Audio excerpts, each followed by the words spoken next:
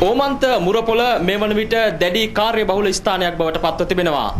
LTTE ග්‍රහණයේ පවතින ප්‍රදේශවල සාමාන්‍ය ජනතාව සඳහා අවශ්‍ය අත්‍යවශ්‍ය ද්‍රව්‍ය රැගත් ලොරි රථ ගමන් කරන්නේ මෙම ප්‍රවේශය ඔස්සේයි. එමෙන්ම LTTE ග්‍රහණයේ සිටින ජනතාව රජයේ පාලන ප්‍රදේශ වෙත පැමිණෙන ප්‍රධාන ප්‍රවේශ වී ඇත්තේත් වවුනියාවේ මෙම ඕමන්ත මුරපොළයි.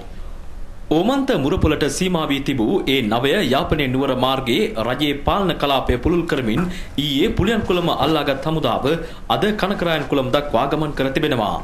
ඕමන්තයේ සිට මාන්කුලම් හා කොකාවිල් දක්වාම ඒ නවය මාර්ගය දැන් හමුදාව යටතේයි පවතින්නේ. මේ සමගම LTTE ග්‍රහණයේ සිටි ජනතාව ඒ නවය මාර්ගය ඔස්සේ ඕමන්ත බුරපොලින් රජයේ පාලන ප්‍රදේශ වෙත පැමිණීම සීඝ්‍රයෙන් වර්ධනය වී තිබෙනවා.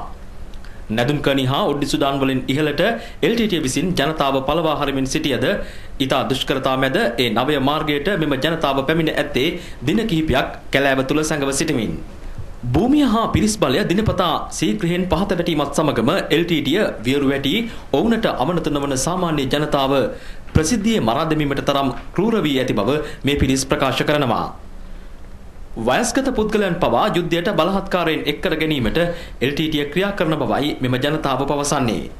රූපවාහිනියේ සමන් කුමාර රාමවික්‍රම ඒ නවය යාපනයේ නුවර මාර්ගයේ මුදාගත් ප්‍රදේශයේ සිට